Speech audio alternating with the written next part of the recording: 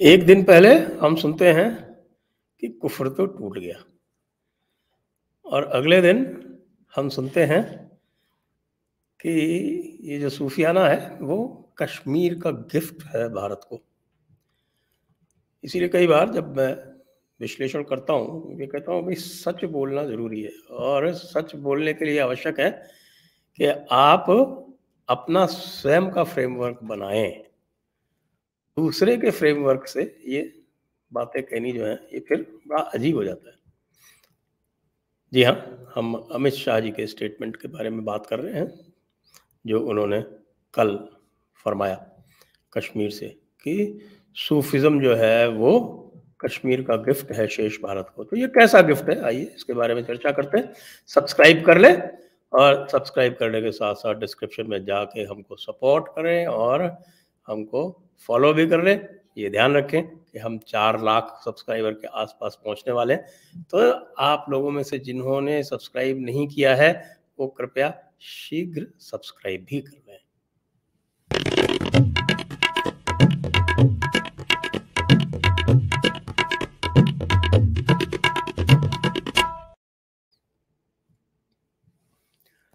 नमस्ते, आप सभी का स्वागत है। आज के हमारे इस कार्यक्रम में।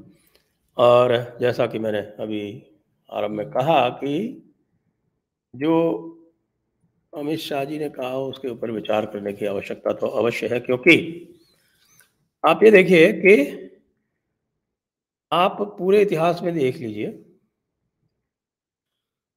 कभी भी किसी भी मुसलमान ने आज तक ये क्लेम नहीं किया है। कभी भी। ये क्लेम नहीं किया है कि सूफीवाद जो है वो इस्लाम से अलग है। ये क्लेम कौन करता है? ये क्लेम हिंदू करते हैं या ये क्लेम क्रिश्चियन भी करते हैं। यानी जो गैर मुसलमान है, उनकी तरफ़ से ये क्लेम आता है कि साहब की सूफीवाद तो बड़ा शांतिपूर्ण है और सूफीवाद तो बिल्कुल ऐसा है कि जिसका कोई कहना ही नहीं। और वो तो संभवतः अल्लाह से मिलन की बात करता है या जो कुछ भी करता है?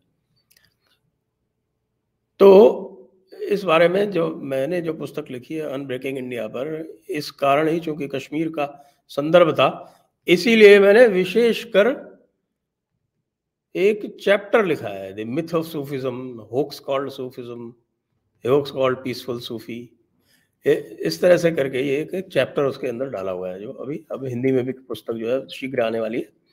प्रूफ रीडिंग भी उसकी कंप्लीट हो गई। तो ये जो बात कल कही गई, अमित शाह जी जब गए थे कश्मीर तो हमें उनसे बहुत आशाएँ थी। और वो कौन कौन सी आशाएँ थी, वो मैंने आरंभ में ये कहा भी था कि हमें आपसे क्या क्या आशाएँ हैं। और वो आशाएँ इस पुस्तक में भी हमने लिखी थी। और बाद में ये भी कहा था कि यदि आपने ढंग से फॉलो अप नहीं किया तो ये जो एक महान कार्य हुआ है 370 को निरर्थक करने वाला 370 को नलीफाई करने वाला, वो भी बेकार हो जाएगा। तो जिस प्रकार से पूरा का पूरा नैरेटिव चल रहा है उसको देखते हुए लग रहा है कि जो इस्लामी प्रोपागंडा है, वो पूरी तरह से सफल है। हम कई बार कह रहे हैं बार बार कह रहे हैं कि आप सच बोलें और सच यह है कि जो कुछ भी कश्मीर में है, वो है जिहाद, जिसका एक छोटा सा हिस्सा है टेरर। उसके साथ में कम से कम, और भी उसके कई सारे डायमेंशन हैं, उसके कम से कम तीन डायमेंशन उसके साथ और जुड़ते हैं। वो है नंबर वन नैरेटिव और नंबर दो इंडोक्ट्रिनेशन और नंबर तीन प्रोपेगेंडा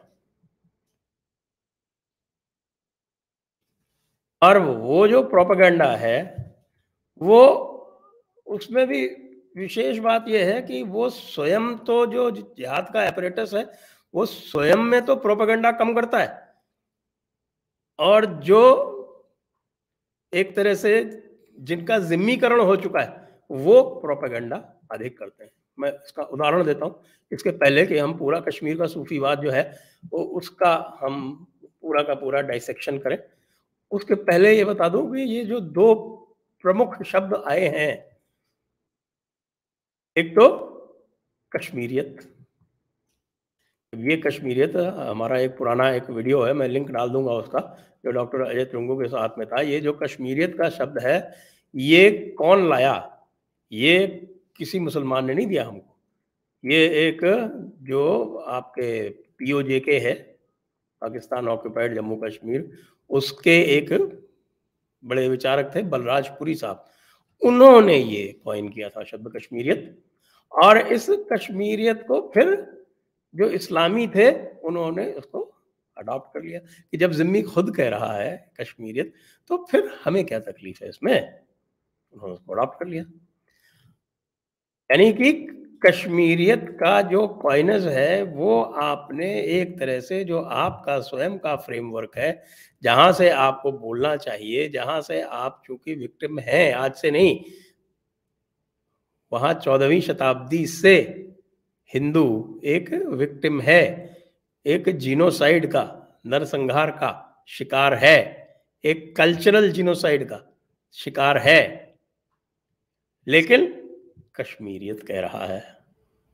यानी कि उनका प्रोपेगेंडा सफल हो गया और उनके लिए नैरेटिव आपने स्वयं बना के दे दिया।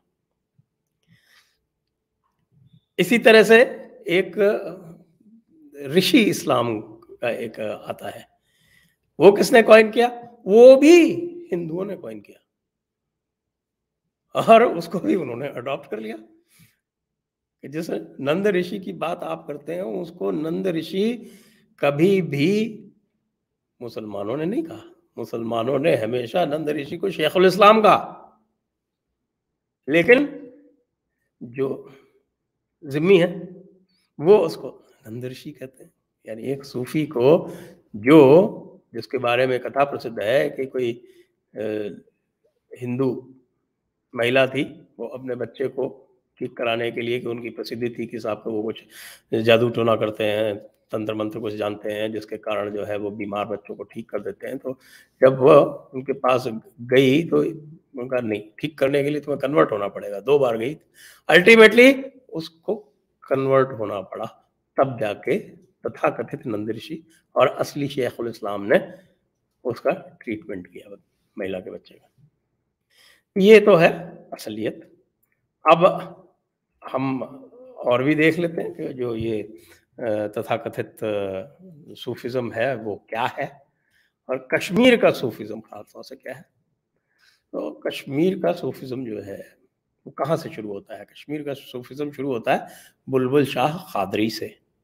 बुलबुल शाह कादरी का क्या रोल है? आप लोगों को पता नहीं होगा कि ये जो पूरा का पूरा जो कश्मीर का इस्लामीकरण हुआ है उसमें सबसे बड़ा योगदान ही उसमें जो नींव का पत्थर है, वो लगाया ही जो उसका फाउंडेशन स्टोन है, वो बुलबुल शाह ने लगाया हुआ है। रेंचन जो था, उसको कन्वर्ट किसने किया? आपको मैं सलाह दूँगा पुनः कि वो जो अनब्रेकिंग इंडिया है, उसको आप पढ़ें, कश्मीर की पूरा इतिहास आपको स्पष्ट हो जाएगा। और क्योंकि सौ सत्तर का पूरा का पूरा बैकग्राउंड वहाँ से हमने डिटेल लिया है चौदहवीं शताब्दी से तो सारी चीज़ें उसमें स्पष्ट है। तो बुलबुल शाह जो था, एक प्रोसोलिटाइजर था कन्वर्शन माफिया कह सकते हैं उसको। मतलब कुछ लोगों को बुरा लगेगा। लेकिन जितने भी लोग या कन्वर्शन में लगे हैं, वो सब कन्वर्शन माफिया के पार्ट है। आज से नहीं हिस्टोरिकली जब से भी लगे हैं। मुझे इसे कहने में किसी भी प्रकार की कोई हिचक नहीं है। तो बुलबुल शाह ने जो रेंचन जो था, जो लद्दाख से आया था, जो पहले शैव धर्म अंगीकार करना चाहता था, वहाँ उसको स्वीकार्यता नहीं मिली। तो फिर बुलबुल शाह ने उसको पकड़ के उसको मुसलमान बना दिया। फिर उसके बाद फिर कहानियाँ हैं, किस तरह से फिर वो षड्यंत्र और तरह तरह के कुछ हुए और बाद में शाह मीर जो है, तेरह में जाकर वहाँ का शाह बन गया और उसके बाद से यही वाली बात होती है कि इस्लाम ने जहाँ एक बार पैर जमा लिए, फिर उसको हटा पाना बड़ा मुश्किल है। फिर वो इनक्रोच करता है जिहाद के माध्यम से और ये जिहाद सदैव वायलेंट हो, ऐसा आवश्यक नहीं, मैंने आपको बताया, मैंने इसके चार डायमेंशन आपको बता दिए इसमें और भी है, लेकिन मोटा मोटा चार डायमेंशन हैं, जिसमें है आपका नैरेटिव इंडोक्ट्रिनेशन प्रोपागेंडा और टेरर भारत सरकार सिर्फ़ टेरर से डील करती है, बाकी तीनों चीज़ों के ऊपर उसका ध्यान नहीं है। तो जब आप किसी समस्या का एक बटा चार निदान करोगे, किसी वायरस को आप पूरी स्ट्रेंथ में उसकी डोज ना देकर और वन फोर्थ डोज में स्ट्रेंथ दोगे तो क्या होगा? वो वायरस तो पूरी तरह से इम्यून हो जाएगा और आपके शरीर को पूरी तरह से आच्छादित करेगा। यही हो रहा है। बुलबुल शाह के बाद फिर द फ़ेमस शाह हमदान मीर सैयद अली हमदान जिनकी हम बात करते हैं, जो वहाँ आए कुबरवी थे, लेकिन उन्होंने देखा कि वहाँ बुलबुल शाह का खादरियों का प्रभाव है तो स्वयं भी एक कौसाई खादरी बन गए और खादरियों का मती लेके फिर उन्होंने वहाँ पर जिम्मा लागू किया। जिम्मा आप जानते हैं, पैक्ट ऑफ़ उमर, जिसको तस्कीरात मुल्क भी बोलते हैं, वो वहाँ पर लागू किया। और उसमें कैसे कैसे?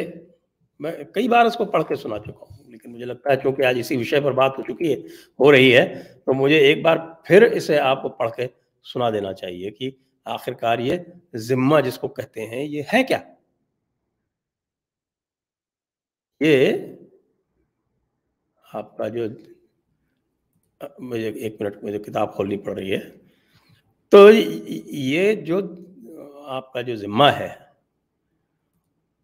उस जिम्मा को लागू करने में, यानी ऐसी ऐसी उसमें शर्तें हैं कि जो भी हिंदू है, वो घोड़े पे नहीं चढ़ेगा, वो जेवर नहीं पहनेगा, वो अपने जो उसके जो मृत लोग हैं, हिंदू जो मृत होता है, वो जलाया नहीं जाएगा, वो अलग तरह के कपड़े पहनेगा और इसमें से यहाँ तक कि अगर कोई मुसलमान चाहेगा कि उसके घर में रहना चाहे तो उसको उसको बैठालना पड़ेगा।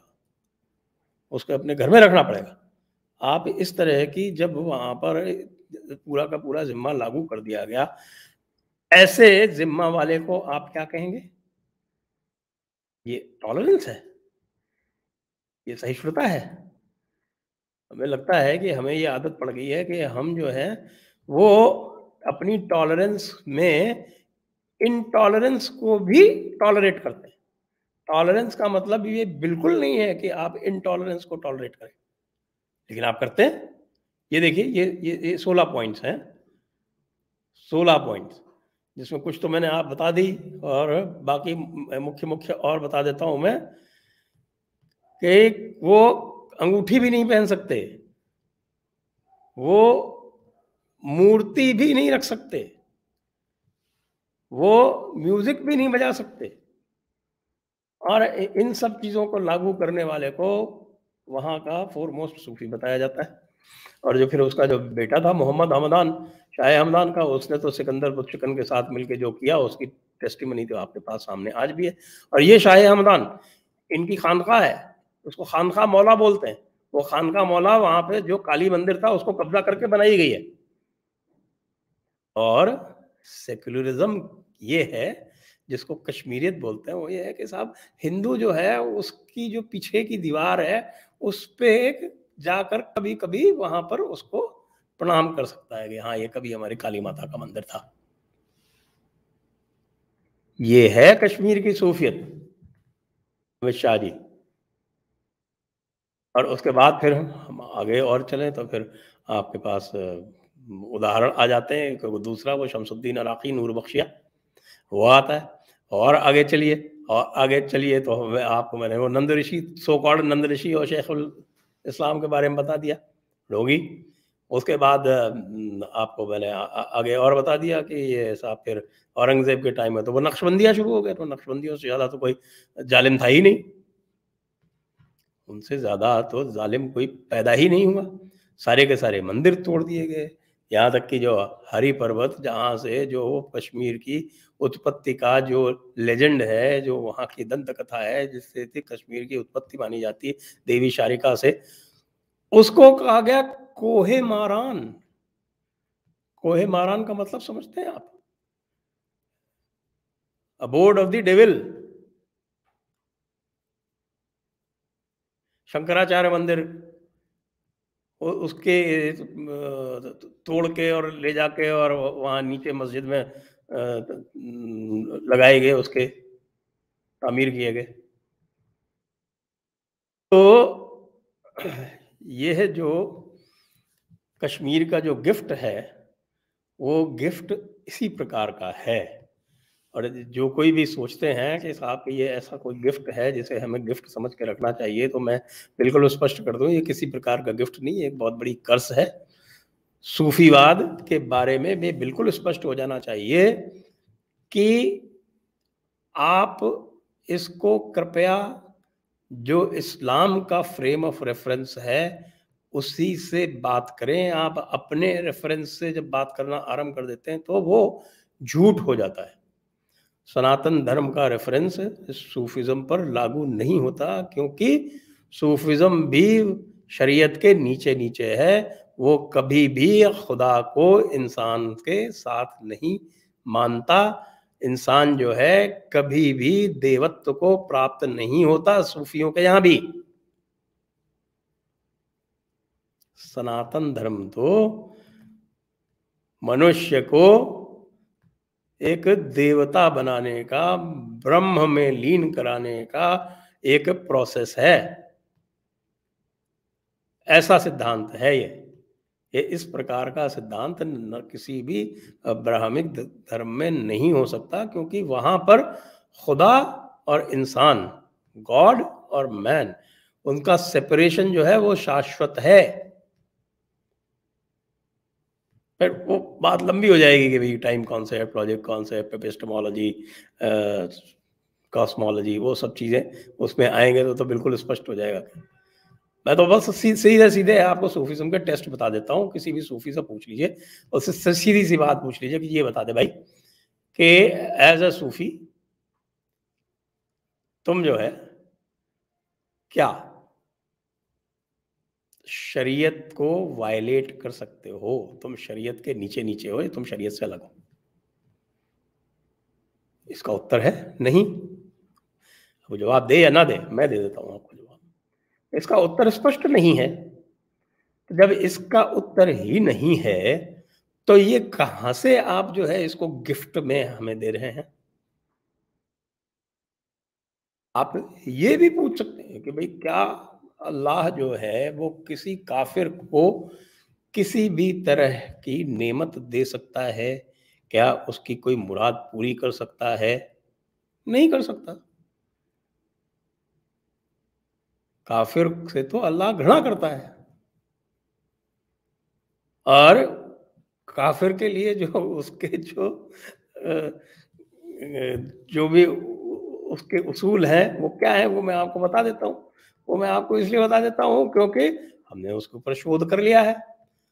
और हमारे जो पहला ती, ती, तीसरा वॉल्यूम है फतावा औरंगज़ेब फतावा आलमगिरी का वो तैयार है। औरंगज़ेब क्या था? बहुत बड़ा सूफी था। वो तो नक्शबंदी का जो मुजद्दी ऑर्डर है शेख अहमद सरिंदी का शेख अहमद सरिंदी के बेटे शेख मासूम का मुरीद था। वली कहलाता है और उस वली ने जो फतावा आलमगिरी, जो इनकी सबसे बड़ी किताब मानी जाती है, आज भी, उसमें क्या कहा?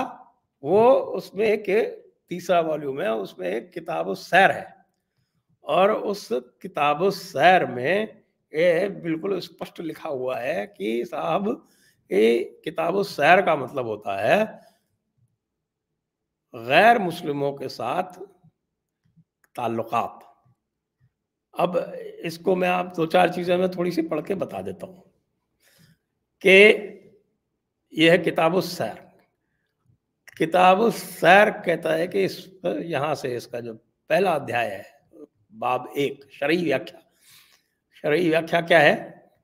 कहते हैं कि स्पष्ट हो कि इसकी शरई व्याख्या इस तरह की गई है। कि जिहाद बुलाना है दीन हक की ओर और युद्ध करना हर ऐसे व्यक्ति से जो इनकार करता है दीन हक को स्वीकार करने से द्रोह करता है। भले ही यह क्रिया अपनी जान से करे या माल से। आप समझ रहे हैं? ये सूफी डॉक्ट्रिन है, फतावा आलमगिरी। फतावा आलमगिरी दो बहुत बड़े सूफी आलिमों के निर्देशन में लिखा गया है। और बाई अथॉरिटी ऑफ़ जो आपका शेखुल इस्लाम, यानी कि जिसको कहते हैं आपके अमीरुल इस्लाम, औरंगज़ेब, अमीरुल इस्लाम, औरंगज़ेब, नक्शबंदी, सूफ़ी, उसकी अथॉरिटी से लिखा गया है निज़ाम बुरहानपुरी, जो बहुत वृद्ध थे तो मुख्यतः शाह अब्दुल रहीम, दोनों सूफी, उनके निर्देशन में कोई 400 लोग इस पे बैठ के इसको और इसके ये लिखा जा रहा है कि साहब की दीन हक यानी कि इस्लाम की आपको दावत देनी है।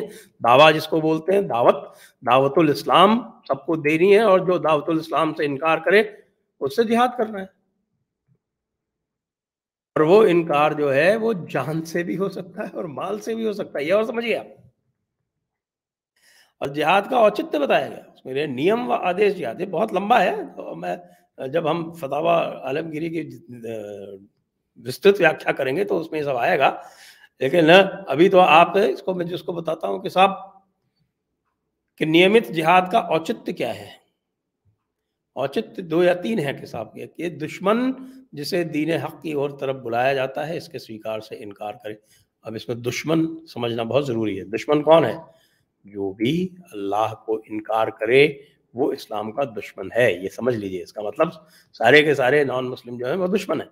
दुश्मन को इस्लाम की दावत दी जाती है, वो इसके अगर इनकार कर देता है, कहता कि मैं कन्वर्ट नहीं होऊँगा तो जिहाद जो है, वो तुरंत वाजिब हो जाता है।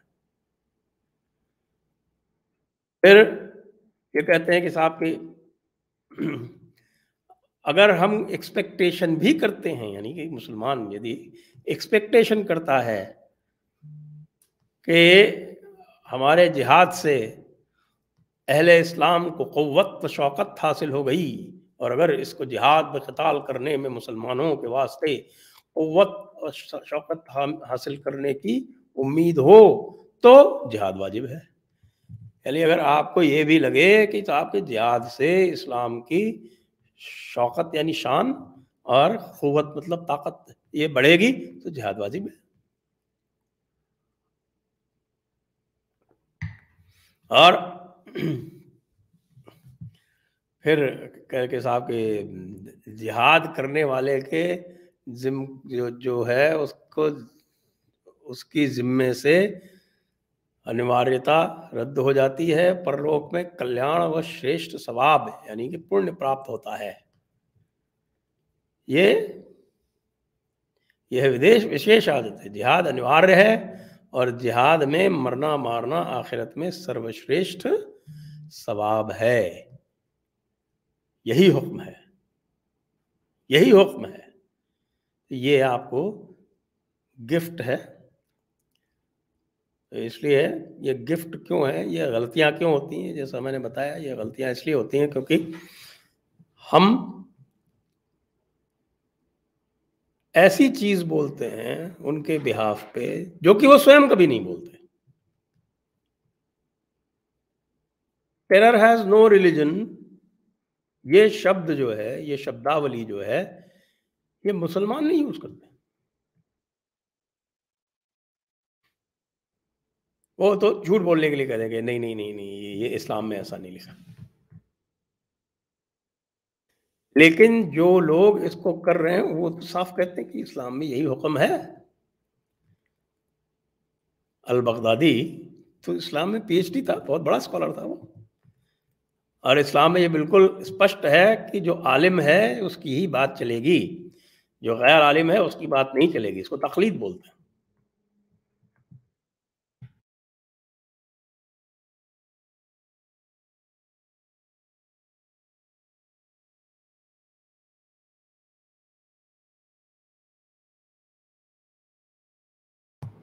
तो जब ये बात समझ में आ जाए तो ये समझ में आ जाना चाहिए कि आप अपने फ्रेमवर्क को इनके ऊपर ना ला दें ये ईश्वर से एकात्मता जो है, वो सनातन का सिद्धांत है।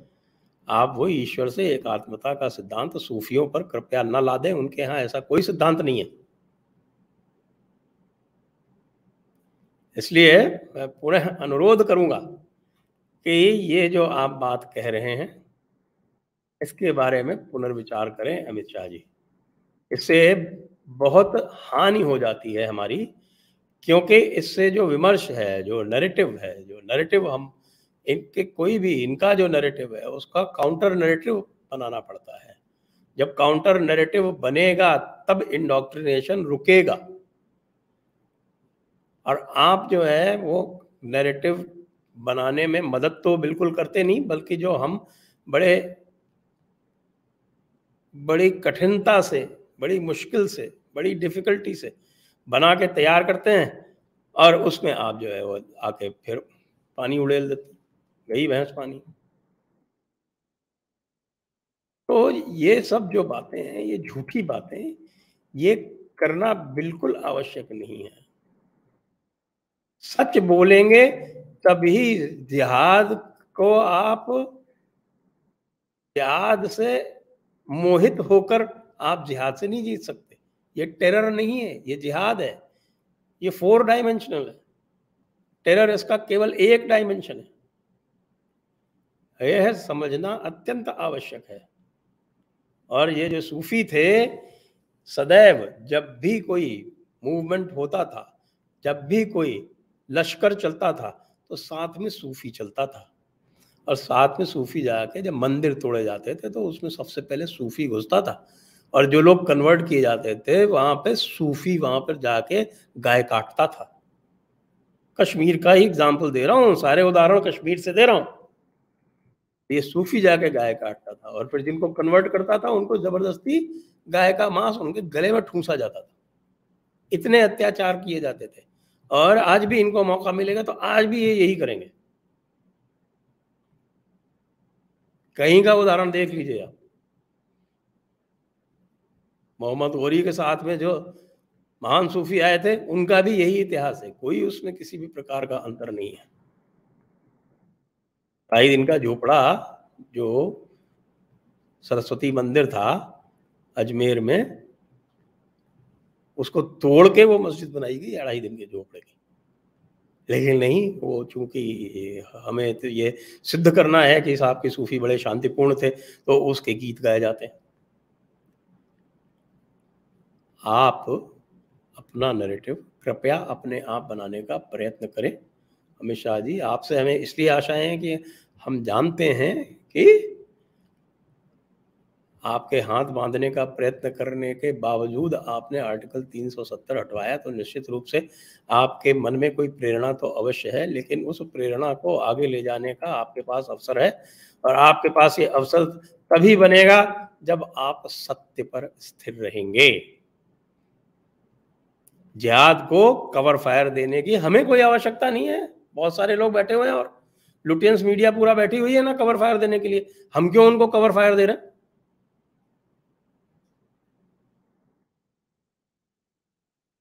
जरा आप फतावा आलमगिरी पूरी पढ़ लें, जरा आप अहमद नक्शबंदी के जो फतुहात हैं, वो देख लें। टू नेशन थेरी का सबसे पहला आर्टिकुलेशन, जो बिल्कुल स्पष्ट आर्टिकुलेशन है, वो अहमद सरिंदी नक्शबंदी का है।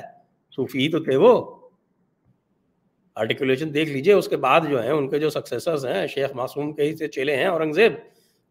और फिर जो शाह अब्दुल रहीम, जिन्होंने फतावा आलमगिरी लिखा, उनके बेटे शाह अब्दुल अज़ीज़ उनके बेटे शाह वलीउल्ला बिगेस्ट ट्रेटर सबसे बड़ा गद्दार भारत का शाह वलीउल्ला जिसने अफ़गानिस्तान से अहमद शाह अब्दाली को न्योता देके मराठों से लड़ने के लिए पानीपत में उनको संधि कराई रोहिल्लों से और, आपके अवध के नवाब से, और वहाँ पे सत्रह का पानीपत का युद्ध इस व्यक्ति के कारण हुआ। बाहर से बुलाया अहमद शाह अब्दाली इसकी बात कोई नहीं करता। तो बहुत बड़ा, आप लोगों ने उसको संत की संज्ञा दे दी। ये सारे के सारे संत हो गए, जो अत्याचारी थे वो संत हो गए। इसलिए कृपया सत्य पर दृढ़ रहें। मेरी आपसे यही विनती है। कुछ प्रश्न है? ले लेता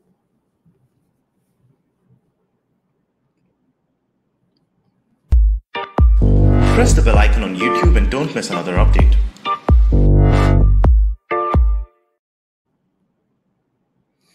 Reni Joseph, Sir Abhijit Ayar Mitra said that there won't be a Akhand Bharat and India would be still further divided, losing South and Northeast.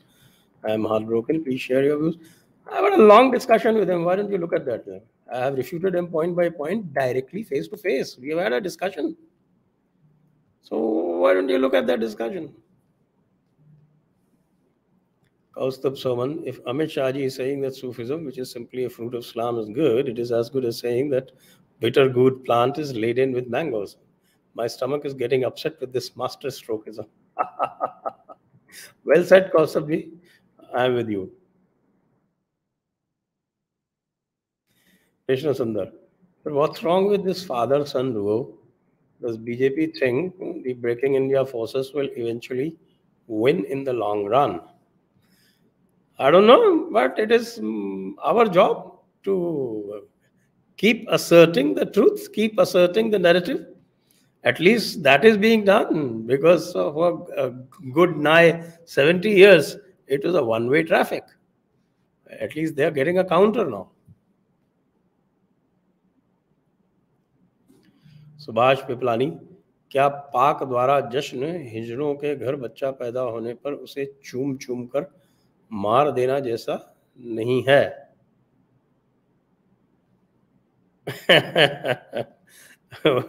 Okay I get it thank you for the observation okay with that thank you all viewers आप सभी लोगों को बहुत बहुत धन्यवाद। हमारा support नीचे दिया हुआ है।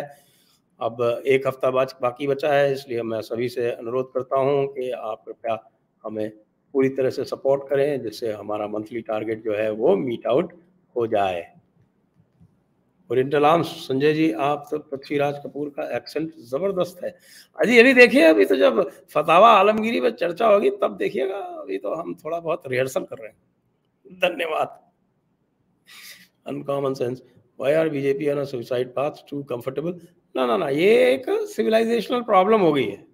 और ये सनातन और हिंदू जो लीडरशिप है, उसके साथ बहुत समय से कि ये अपनी तरफ़ से एक्सक्यूजेस बना बना के कवर फायर दे के सामने वाले को देता। सामने वाला जो खुद नहीं कह रहा है, वो उसको कह रहे हैं, अरे भाई कश्मीरियत, अरे भाई इंसानियत, अरे भाई जमहूरियत, अरे वो कब कह रहे हैं?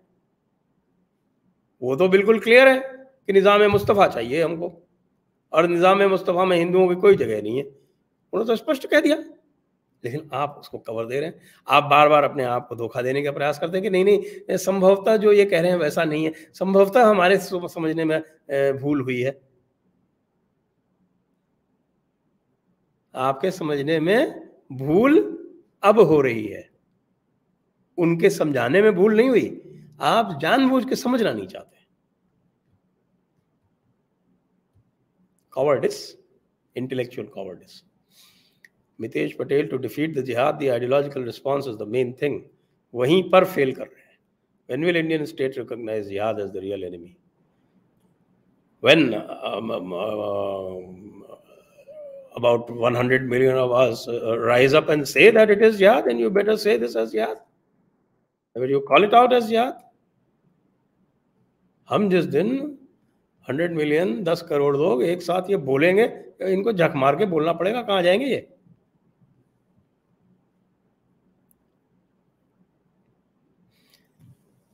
आप सभी लोगों को बहुत बहुत धन्यवाद।